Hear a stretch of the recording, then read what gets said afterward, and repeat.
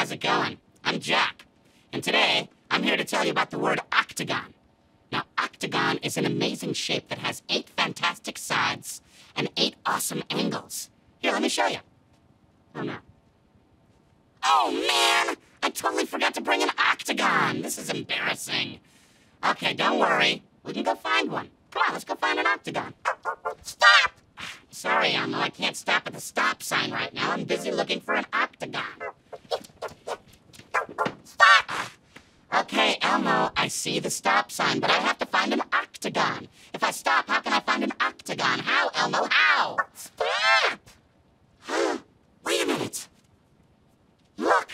The stop sign has one, two, three, four, five, six, seven, eight glorious sides, and one, two, three, four,